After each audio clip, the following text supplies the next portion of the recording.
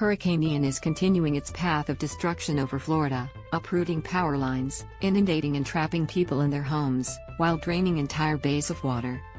Tampa Police Department captured the moment the storm, one of the most powerful recorded in the U.S., ripped a traffic light down and sent it crashing towards a police car.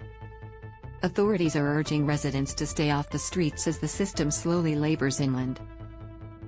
Read more Extraordinary scenes as massive storm lands in Florida. Tampa PD officers saw a traffic light come crashing down in front of their car in Ybor City, the department wrote on Twitter.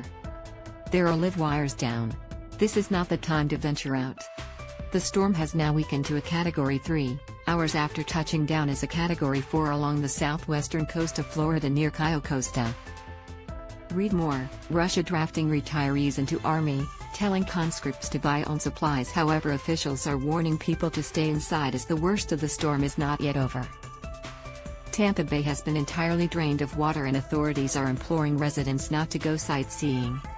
Read more Trapped Floridians film catastrophic extent of floods as Hurricane Ian rages. Officers are continuously clearing cars from Bayshore Boulevard due to people coming out to see or walk on the low tide, officials wrote. It is not safe to be out on the streets.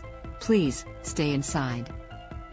A coastal sheriff's office said they've received reports of people trapped inside their homes and high water rescues are underway. A major disaster declaration has been issued for all 67 counties in the state and 42,000 linemen, 7,000 National Guardsmen and 179 aircraft have already been deployed to help. Across the state nearly 2 million people are without power.